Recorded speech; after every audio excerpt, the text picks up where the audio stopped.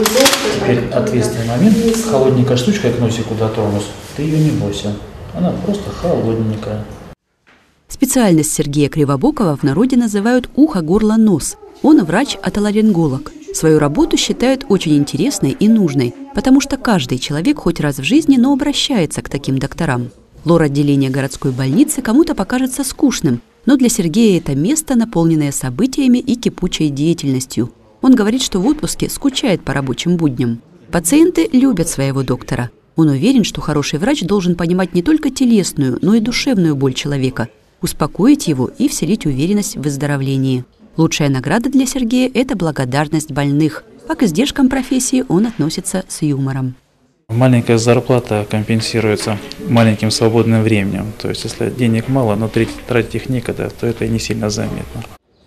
Городскую больницу Сергей Кривобоков считает вторым домом и помнит с детства. Не потому, что часто болел. Сюда приводили его родители. Они тоже врачи и часто брали сына с собой на работу.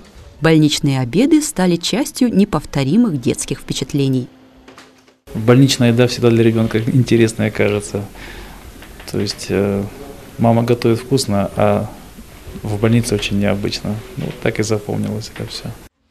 Конечно, стать врачом Сергея побудила не больничная еда. Для него стала частью жизни атмосфера ежедневного подвига во имя здоровья людей, в которой он вырос. Надо сказать, что атмосфера очень насыщенная. Я кардиолог, муж у меня онколог, э, старший сын он э, отоларинголог, э, младшая дочь у нас врач-кардиолог.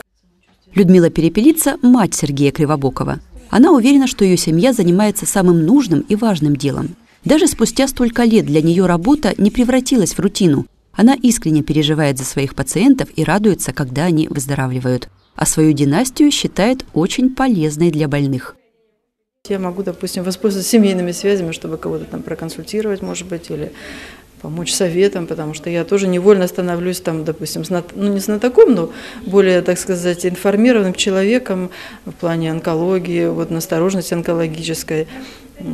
Могу, допустим, там вот э, при гипертонической болезни там воспользоваться связь, связями с э, материнскими, там пригласить сына на консультацию. В семье Кривобоковых подрастает еще одно поколение – дети Сергея. Они уже мечтают стать врачами, хирургами. Так что в будущем круг консультаций пациентов Людмилы Перепелицы заметно расширится. Влада Волошина, Артур Карджанян, служба информации телеканала РЕН-ТВ «Армавир».